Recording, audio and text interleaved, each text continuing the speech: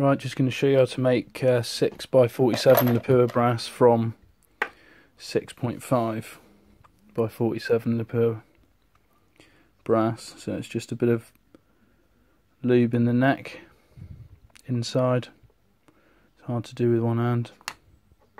Dribble on the neck, and then a Forster 6 by 47 full length size and die.